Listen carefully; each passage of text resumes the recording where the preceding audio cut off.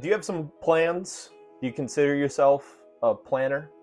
I think everybody kind of has some plans. Uh, maybe the, the level of detail in your plans is different from other people, but you plan in all sorts of aspects of your life. You have your own family plans uh, of where you're going on vacation, when you're going to see your, your parents next, when you're going to see your kids next, when you're going to see your grandkids next. You, you have family plans about how many kids you want to have. You, have family plans of where you want to live or what kind of house you want to live in or, or what kind of job you're going to have uh, to support your, your family. Uh, you have professional plans. You have careers that you want to, to chase down. You, you have uh, a plan of where you hope that you'll be in, in five or 10 years. Uh, you have maybe a goal in mind of where you want to get to. Um, you, you, have all kinds of, of plans. Um, sometimes you're planning for your week, sometimes you're planning for your month, sometimes you're planning for your year, but, but you plan things out. And, and the Bible says that's a good thing. God encourages us to be planners. He encourages us to be wise stewards of the gifts that He has given us so that we can uh, glorify Him in, in, everything that He has given us and, and use those blessings uh, for good purposes. But as with all good things, uh, they can be twisted by the devil.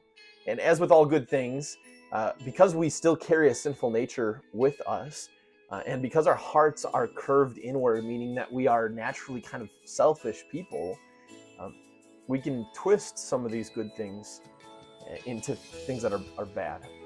In fact, God says that there's a, a certain attitude that He would love for you to, to have when it comes to planning and there would be a certain attitude that would be sinful that, that he wants you to avoid when it comes to planning. And, and the writer james is the one that talks about this. He says come now you who say today or tomorrow we will go into this or that city spend a year there do business and make profit. You do not know what tomorrow will bring. What is your life? Indeed it's a mist that appears before for a little while and then disappears. Instead, it is better for you to say, If it is the Lord's will, we will live and we will do this or that. But right now, you are boasting in your arrogance. All such boasting is evil. What can happen when it comes to, to planning is that when your plans go right, when you plan something else out and it actually happens that way, you can start to get arrogant about it. You can start to believe that you are the one in control. You can start to believe that you are the source of your blessings, that your life turned out the way that it has because you've made great decisions. And because you have, have been such an excellent planner and have followed that plan to a, a T, instead of having thanksgiving for the blessings that God has given you. And, and so, in place of, of having thanksgiving in your heart for the blessings that God has given you, it, you instead are boasting in your own goodness and your own ability to plan and make things happen. And what James says, and what God wants for you, is to approach everything with humility. And James says something that, that is really humbling. He says, Your life is a mist.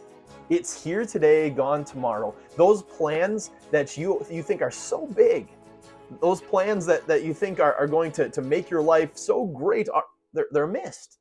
They're here today, gone tomorrow, just like your life is here today, gone tomorrow.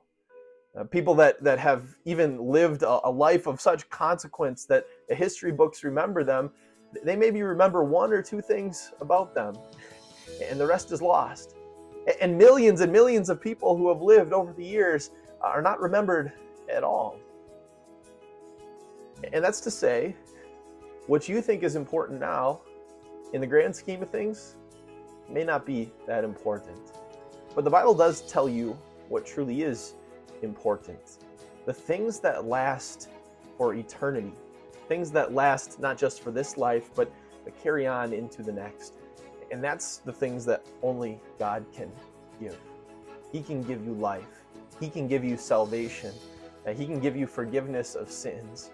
He can give you blessings that will last here and to eternity, and He has given you those all through Christ. And so we can approach our lives uh, with, with two things in mind. First, the, the importance of the, the blessings, the heavenly blessings that God has given us, those are, are the most important thing because those last on to eternity. Those are not a mist here today and gone tomorrow. And the second thing we can carry with us as we make our plans is to say, if this is the Lord's will, He is the one in control. He is the one that knows what's what's best for me and what's important for me. And I'm going to approach all of my planning and everything that happens with thanksgiving instead of boasting, with humility instead of pride. And I'm going to submit to the Lord's will and ask that His will be done.